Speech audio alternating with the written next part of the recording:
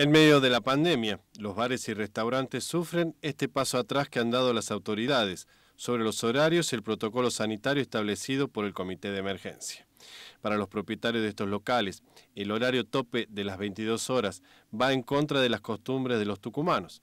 La baja en las ventas ya impacta en estas fuentes de trabajo. La situación es terminal, esa es la verdad. Eh, nosotros veníamos ya de una crisis muy importante, se imaginan que para todos no deja de ser un lujo sentarse en un bar hoy.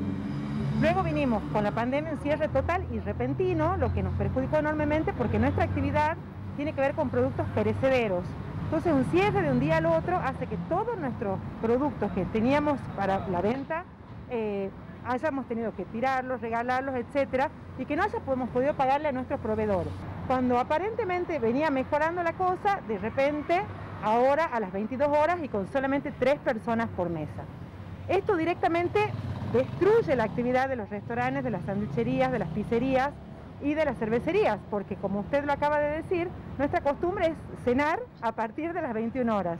Entonces, no hay ningún ánimo de sentarse en una pizzería, en una cervecería, para que a las 40 minutos o media hora tengan que retirarse. Los empleados de la gastronomía, por ejemplo, tienen que habituarse a la nueva modalidad de trabajo, pero viven fundamentalmente, como siempre, de las propinas y de las comisiones.